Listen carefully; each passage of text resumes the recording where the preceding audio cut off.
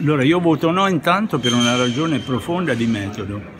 Questa è una legge costituzionale che è diventata una cosa del governo e quindi corre il rischio di degradare la Costituzione a una qualsiasi legge politica, non più la casa comune di, di tutti i cittadini. In secondo luogo c'è molta demagogia populistica sulla riduzione dei costi che sono minimi.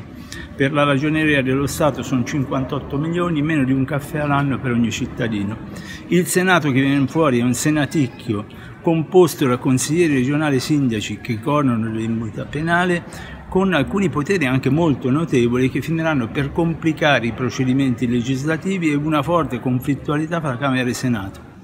Le regioni vengono private di molti poteri, c'è una forte decentralizzazione a vantaggio dello Stato centrale, ma tutto questo non vale per le regioni a statuto speciale, che continueranno a godere dei loro privilegi.